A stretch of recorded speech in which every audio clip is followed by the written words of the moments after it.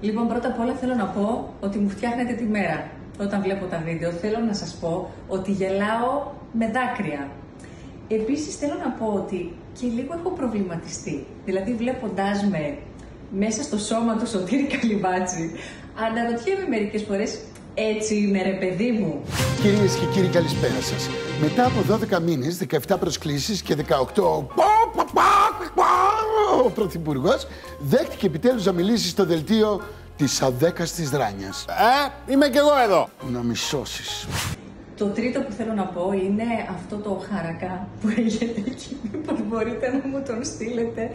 Μήπως μου φανείς σε τίποτα χρήσιμος. Συγγνώμη, συγγνώμη!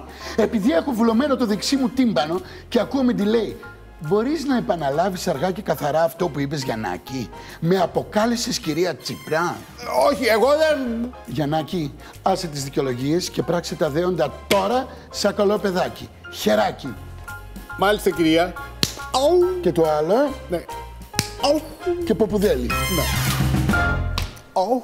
Ε, και τέλος να ξεκουραστείτε και να μας δώσετε νέα βίντεο από την επόμενη σεζόν και εγώ θα προσπαθήσω, ελπίζω, να τα τροφοδοτήσω με κάτι. Πολλά φιλιά!